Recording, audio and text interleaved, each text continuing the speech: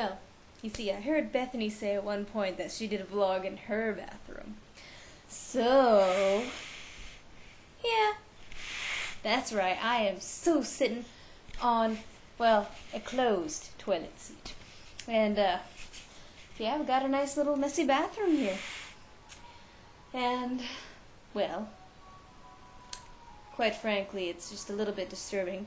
But I'm sure one of these days, maybe, maybe I'll get used to it. If I ever do a vlog in here again. I hope not. Ha! This is your old room, Brooke. yes, it is. And, well, looks actually pretty dark in here because I didn't really turn on the lights. I just sort of jumped in here. And, uh, well, as you can see, it's, it's still a mess with a few more blankets and trinkets and things than before. and I guess the only difference is that uh, you're not in it. But, you know, other than that, it's still the same. Okay, I think I found the shirt you were talking about. I'm not sure. I can't remember where I saw it, though. But I, I think I saw a black shirt, and no one knows where it came from. So, that may be it. Yes, well, now we're, we're back in my room. And, you know, it's, it's quite comfortable. I like it, except for the creepy little mattress.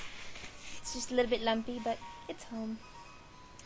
You know, it's kind of weird. There's there's always been a, a, one of those picture things that Megan draws, right, right, right there. You know, there's one in Brooke's room too. It's really weird how they're always right behind us. oh well. Proves that she's watching over us scary. Oh well. There's not really all that much else to say for news. Uh, this right here is what I've been obsessed with over the past, I don't know, few weeks. Because I haven't had a chance to finish it. But read it, read it, read it, read it. It's awesome.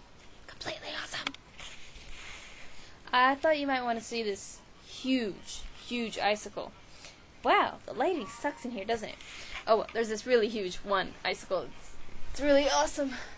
I suppose, I don't know if you can see it, but it's, it's pretty big.